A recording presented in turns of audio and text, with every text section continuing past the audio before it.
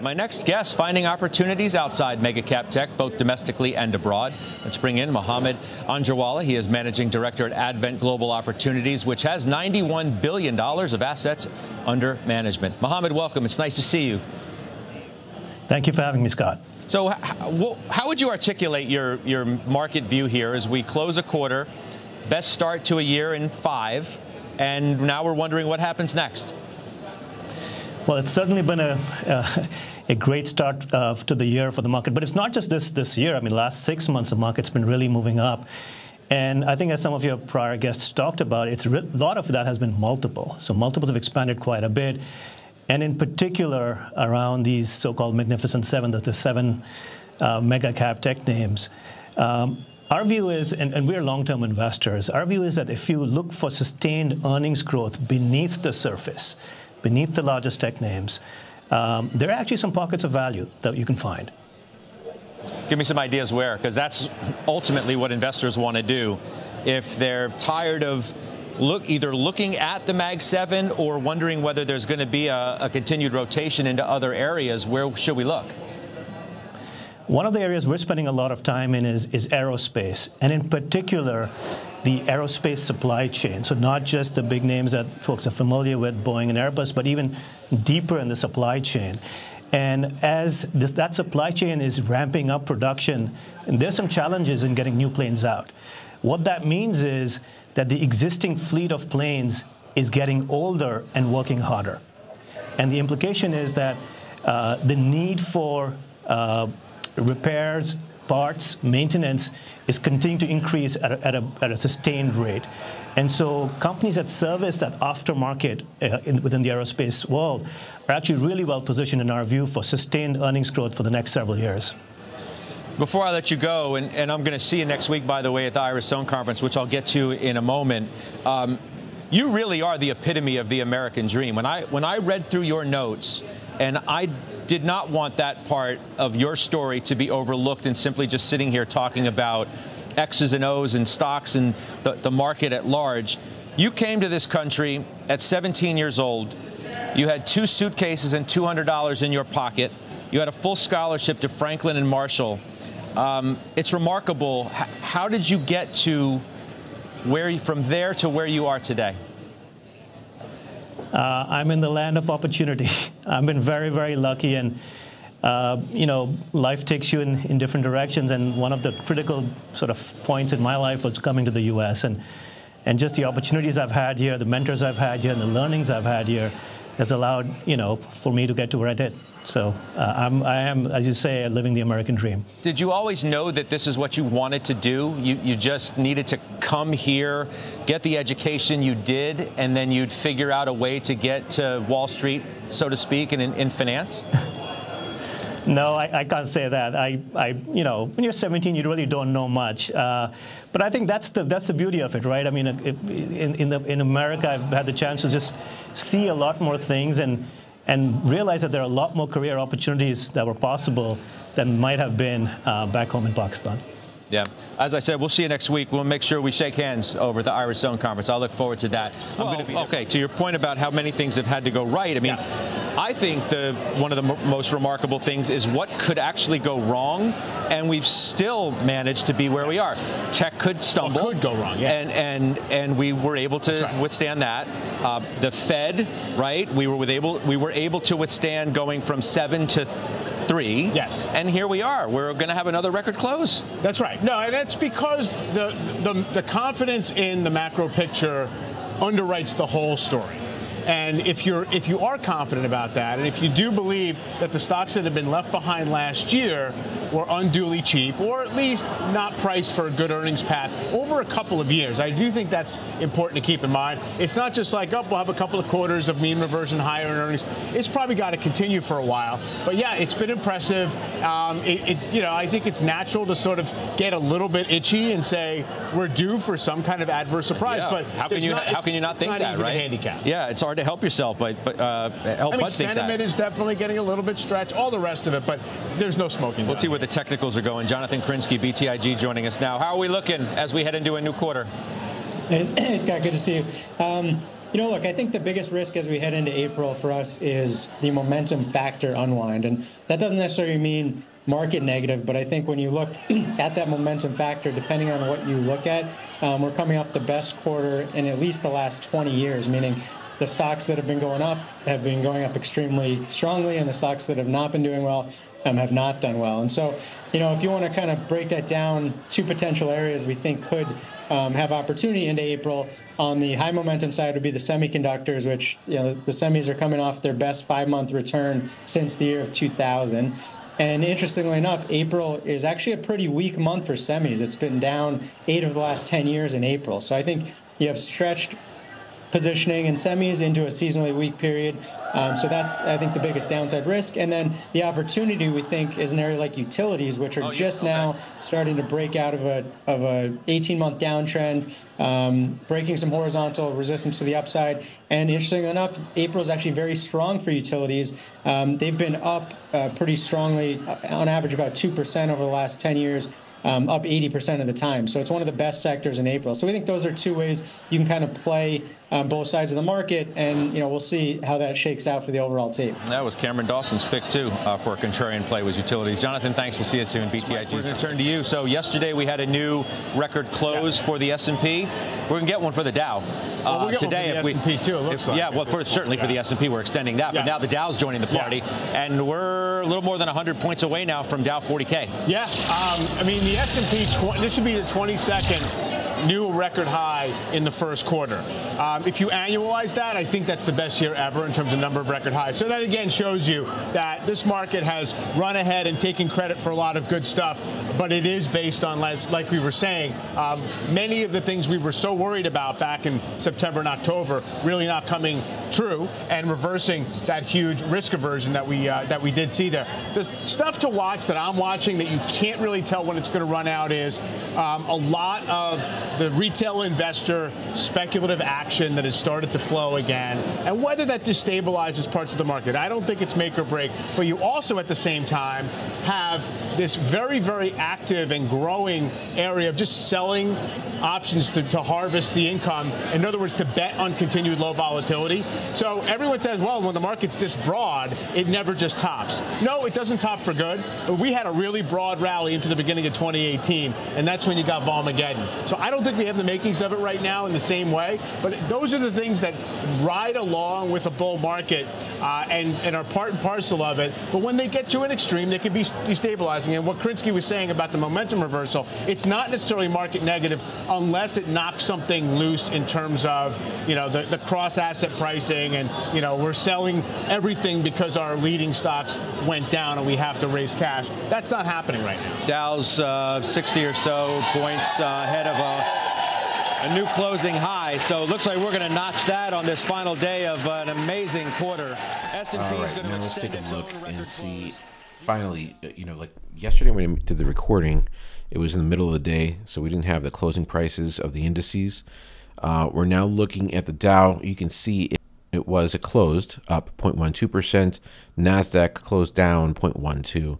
S&P 500 up 0.11 and the Russell 2000 was up 0.31%. And on the heat, heat map here, you can see Meta and Apple were down. Tesla was down for the day on fr- on Thursday, but for the week, let's take a look and see how the week uh, looked.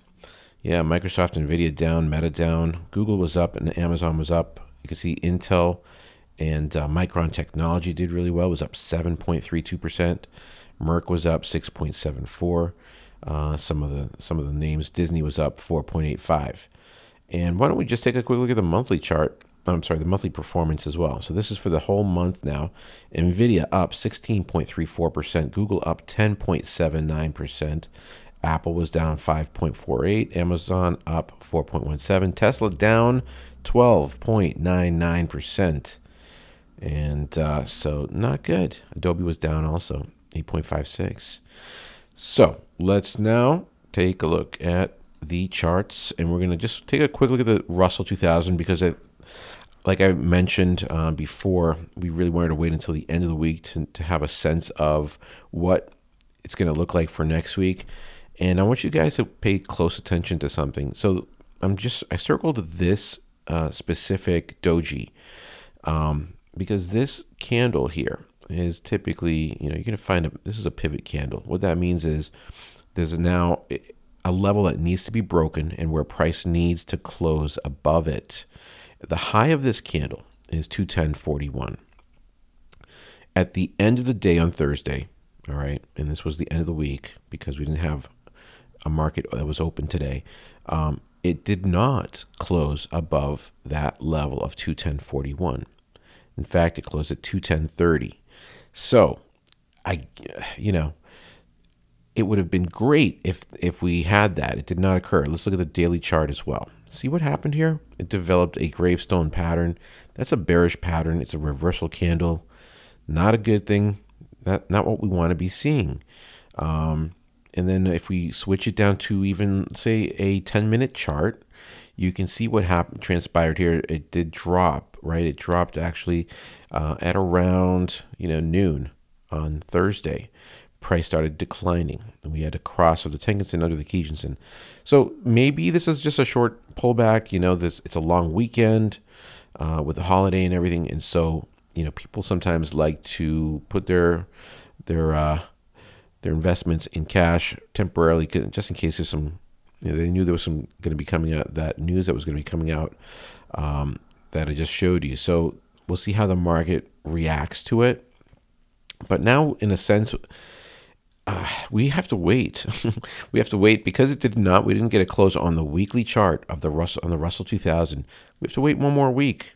We need a closing price on the weekly chart above this candle, the 210.41, and uh, that will signify the. I, I, believe it will be more conclusive.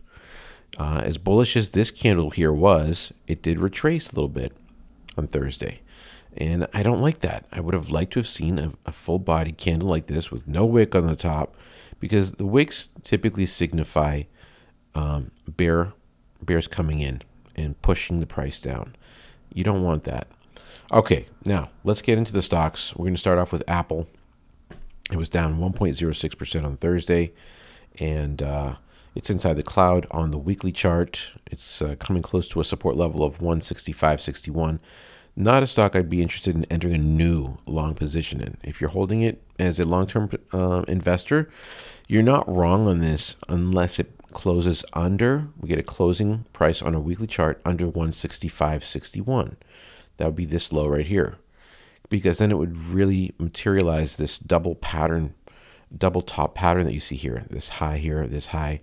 That's a negative pattern. We don't want that. And so um, that's why this is such a significant level. 165.61 that's what i'd be watching. If you get a closing price under it and it gets under the cloud as well then you're in a lot of trouble okay? Amazon is doing very well. It's a very strong chart. It was up 0.31% on thursday and um, it looks like it's still moving in a very positive direction on the weekly. How about american express? Same thing with american express. It was down 0.03% on thursday. Not a big deal uh, let's look at Bitcoin ETF, BITO.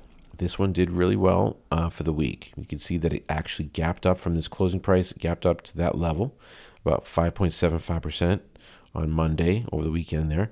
And then it continued to move past this high level. So it looks like it uh, is continuing. Let's look at the daily chart. You know, there's that candle that broke above the Tenkan-sen, but now it's just kind of like moving sideways a little bit. All right. And here's the Bitcoin USD, which tells us what the price of Bitcoin is. It's at $69,655 right now. Um, Caterpillar was brought up in the interview there, and this stock has been doing really well. This was uh, it was up 0.49% on Thursday. I like what I'm seeing here. It, it looks like it closed above these highs right there. So that's very bullish. Love that. On the weekly chart, very strong. Let's see here. CEG is Constellation Energy. Now, it has done really well.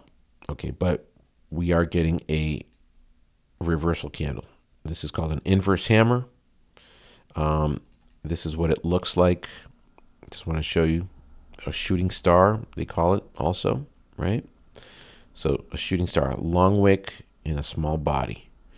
Uh, long wick on the top. That means that the the sellers came in, they pushed the price down, And so after a move up, that tends to be a uh, the potential for a new drop. And you can see here, if you guys want to take a screenshot of this, you're welcome to. This is the candle pattern reference sheet. You can see single candle patterns, right? Here's a hammer. There's the introverted hammer there. Here's a dragonfly, a bullish spinning top. You can see all these different interesting things there. So you probably heard me talk about the uh, harami, a bullish harami or a negative harami. Um, if you want to understand, for those of you that are new and want to understand what the candlesticks mean, you can take a look at this right here, understanding candles. And if you have a bullish candle, it means that the op- so when you see this, it's the opening price. Let's say it's a daily chart, a daily candle. This is the price where the um, where the price opened at 9:30 a.m. right here, and this is where it closed at the end of the day. What the wick signifies is how far down did it go throughout the day. Okay, so the, the sellers might have pushed it here in the beginning of the day, and then the buyers came in, brought it up to this high, and then it finally closed at this level at 4 p.m. The alternative here, when you have a negative candle, it's opening price here at 9:30 a.m. Let's say that the buyers came in, pushed it up, but then the sellers came back, pushed it, pushed it, pushed it all the way down to this level. But then before the close of the day, they pushed the buyers came in, pushed it, and they brought it to this level. That's 4 p.m. This is so that's what that signifies the body and the wick. Um, and uh, yeah, I mean, there's just a lot of patterns here, so you can you guys can check them out. And there's a lot of information on on on the web, obviously, um, on candlestick patterns. I strongly recommend that you learn them because they can make a big difference in your trading. You can be it can help you out of situations like this where I would never enter a long position on this on this negative candle.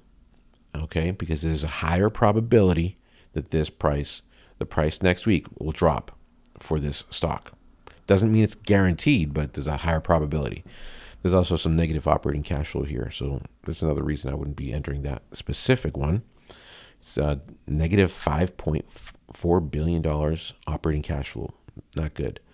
Here's another uh, company that was just showed on, I think it was showed in, uh, in, on the charts there when they were you know, talking about different companies. Da- DoorDash. The ticker symbol is Dash, D A S H. Not a company, even though the technicals look really good, as you can see here on the weekly chart. They look great on the daily chart as well. You want to have confirmation with the fundamentals, and you can see the profit margin is negative 6.46. Um, the EBITDA is negative. What is EBITDA? It's the operating income before depreciation. And you guys can look that up too online. Very important to know. But their sales growth is very strong, so maybe that's what's pushing this uh, up so much. Gold. The gold ETF did really well. Did really well this last week. It actually you can see here, this was the price back on Wednesday, March 27th. It gapped up on early in the morning uh, on on um, on Monday. Okay, uh, I'm sorry. This was Thursday's candle here.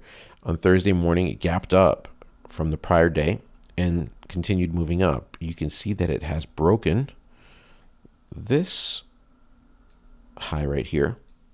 So that's very positive and this um, this candle right here as well. So, you know, this would be uh, the pivot candle actually right there.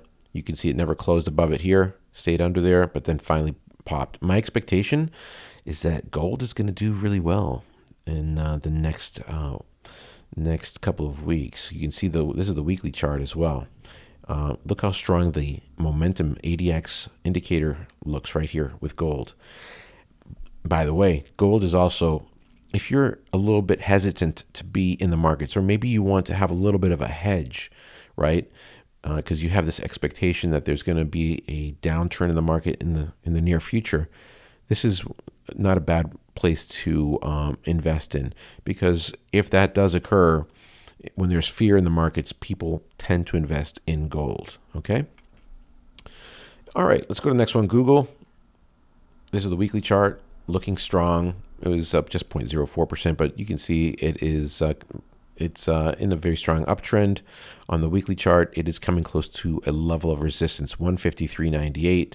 I'd hold off on this one until we close above this level. All right, Russell 2000, we talked about that one.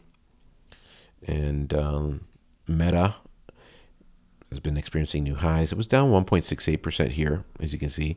Um, I don't I don't see anything too negative about this. It's it's holding up above the top of this uh, candle.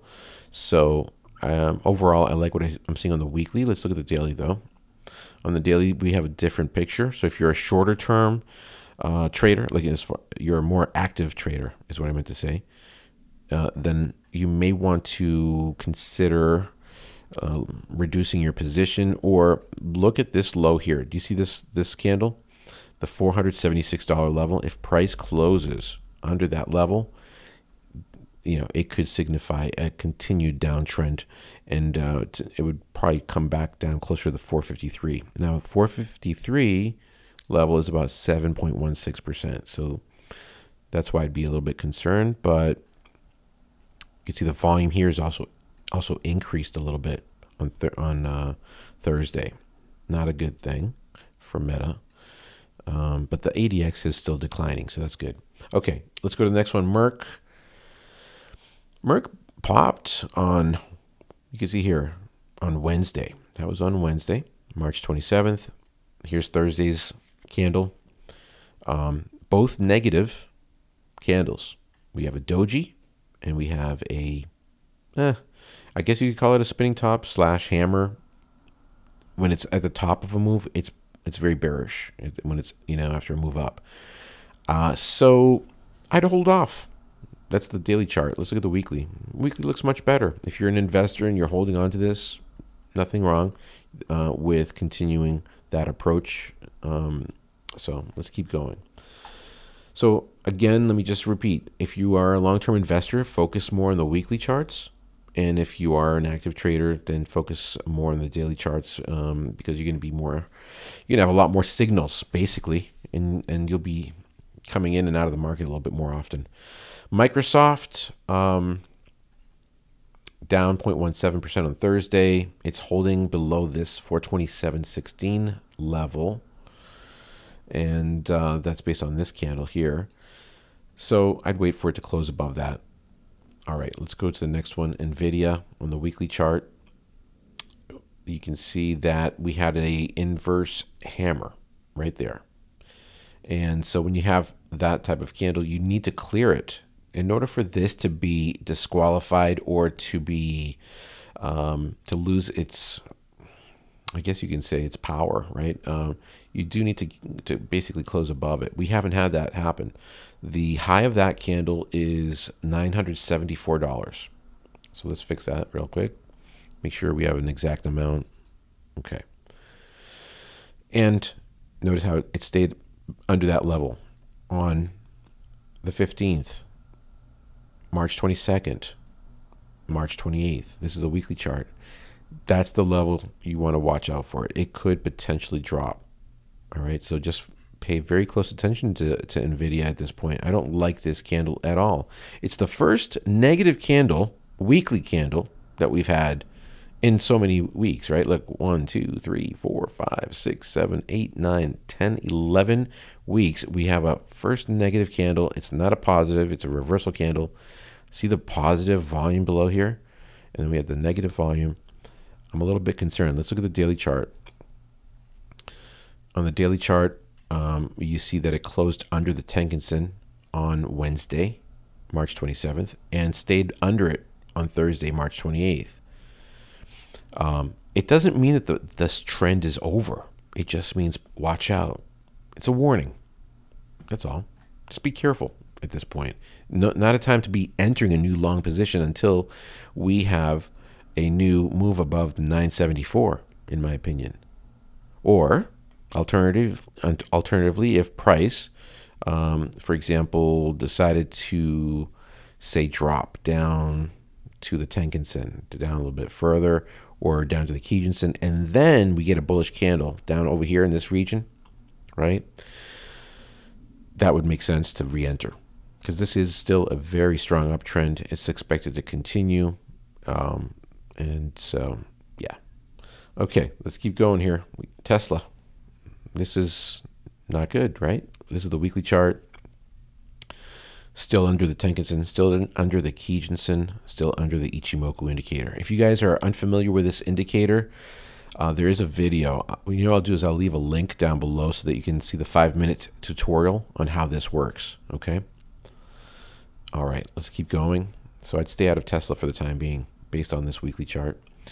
Real estate ETF XLRE looking strong. We last week, the prior week, we you can see we had a spinning top here and this week it disqualified this candle and now it's broken above the high of that candle so now my expectation is it's going to continue moving up um, and we'll probably find some resistance here at 40.75 but once we clear that area as well hmm, there's a little bit more resistance above here let's see where's that level the high of that candle is 42.21 so that's what the charts are telling us right now. We have a higher high here than this high. We have a higher low here than this low. We have a textbook. Um, but what we don't actually have is a higher high here. Actually, I'd like to see that. See how it's stalled? I'd probably want to get above 4075 before I even consider this at this point. You know? I don't know. Anyway, that's my opinion. Okay, let's keep going. Uh, consumer discretionary. We here's some more pivot candles. We broke through this one. Right? Here. It came back down, retested the Tenkan-sen, and then crossed above it again, and now it's continuing. I like what I'm seeing on the weekly chart with consumer discretionary. Um, on the daily chart, it was down 0.31%. I'd probably wait for a new bullish candle, uh, you know, before re-entering on this one. Okay. And if you guys like this software that I'm using here, it's called TC2000. There is a link down below where you can get a discount if you are a subscriber. In fact, one of the uh, types, uh, there's like a silver, there's a gold membership, and then there's also, uh, I think, a platinum. Uh, the silver you can get that for free for two months with that um, discount if you haven't used TC2000 in the last year. So definitely check that out. And I will catch you. Oh, I always forget this. Don't forget to hit the like button and subscribe if you like this video and want to see more videos just like this one.